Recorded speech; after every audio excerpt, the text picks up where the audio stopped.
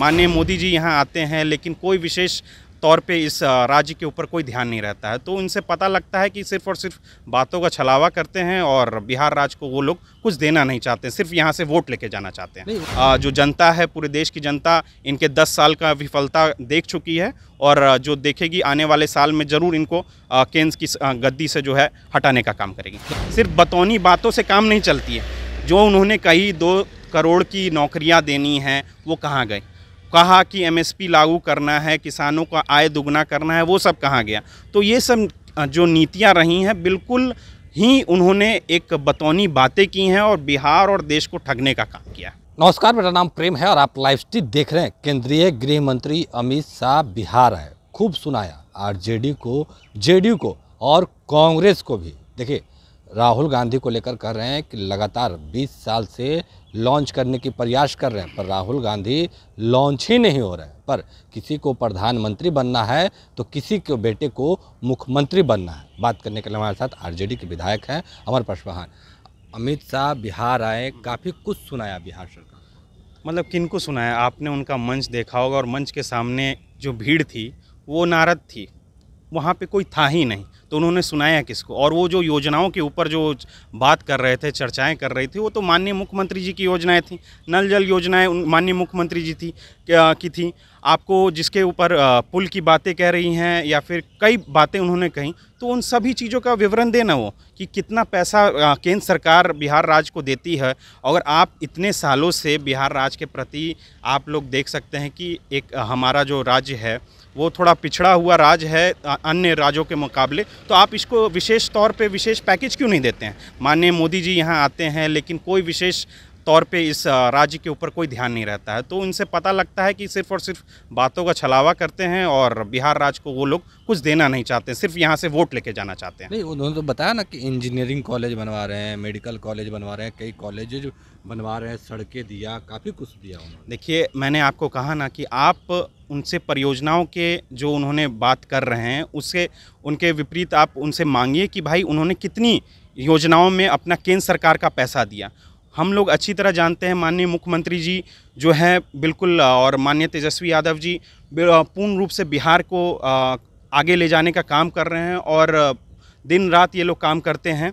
और आप देख सकते हैं जबकि केंद्र सरकार जो है अपनी हर एक दो महीने में यहाँ पे आके विफलताओं का नौ वर्ष ये अपने शासनकाल के बताना चाह रहे हैं लेकिन फिर भी मैं मानता हूँ कि ये नौ वर्ष उनकी विफलताओं के वर्ष रहे हैं और बिल्कुल इनसे मुक्त होने के लिए 2024 में सब लोग एकजुट हुए हैं और एकजुटता के साथ आपको परिचय मिलेगा और इनको उखाड़ फेंकने का बिहार से दशा दिशा का निर्देश जारी होगा। आप लोग बोल रहे हैं कि उखाड़ने के लिए बैठक हो रहा है अ, रास्ते बन रहे हैं पर उन लोगों का कहना है कि जब कानून का डंडा चल रहा है जब कानून काम कर रहा है तो तमाम जो भ्रष्टाचारी लोग हैं वो एक साथ जुट हो रहे हैं। कहाँ कानून का आ, काम चल रहा है? आप देख लीजिए यूपी में भी उनकी सरकार है और आज एक दलित हमारे भाई चंद्रशेखर के ऊपर गोली चल गया और इससे पूर्व में भी कई बार उन्होंने आवेदन दे के वहाँ के स्थानीय आ, अधिकारियों से बात की लेकिन उनके ऊपर ऐसे कोई एक्शन नहीं ली गई आज उन एक दलित की आवाज़ को आप लोग रोकना चाह रहे हैं और उसको कहीं ना कहीं आज उनके ऊपर गोली चलाई चलाई गई। भगवान का शुक्र है कि वो बच गए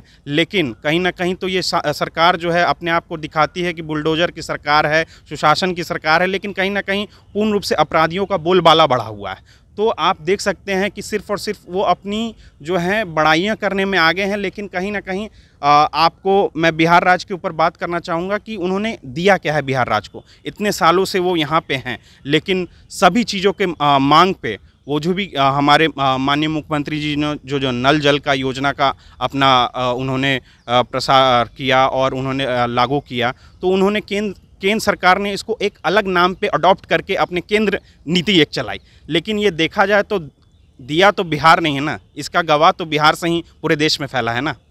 मतलब गवाही बिहार ही है। जी बिल्कुल गवाही बिहार है और बिहार से ही ये योजनाएँ आगे केंद्र में गई हैं और केंद्र को इससे सीख मिलती है और वो जानते हैं कि ये योजनाएँ बिहार से अच्छी योजनाएँ निकल रही हैं तो वो लोग सिर्फ़ अडॉप्ट करने का काम करते हैं।